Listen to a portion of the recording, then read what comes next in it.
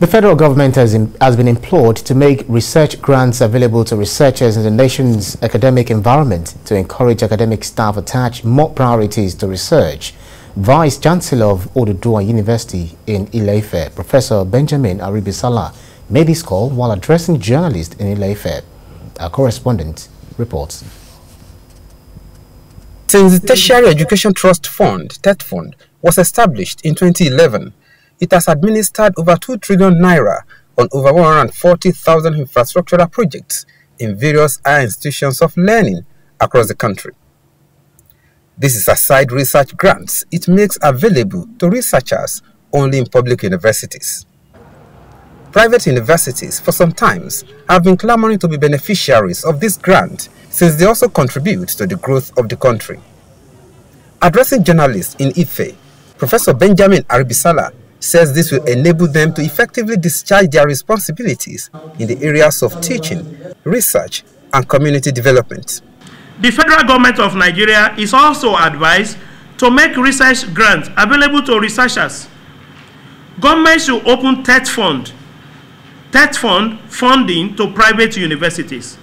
This is important because all federal licensed universities are the same in the area of developing manpower for the nation. So both public and private universities are partners in progress. The academic staff of private universities are also urged to carry out research for the sake of productivity. If we fund research, fund research for productivity. Many of our lecturers are only busy saying, I've written 20 papers, 500 papers, 200 papers. The Pythagoras of this world, the Platos of this world, they went to the university. They were Greek literates and they were able to function for the for the world what makes science meaningful so i want to advise the university fund productive research not research for righteousness. in december last year the academic staff union of universities ASUU suspended its nine-month-old industrial action and may soon go on another strike.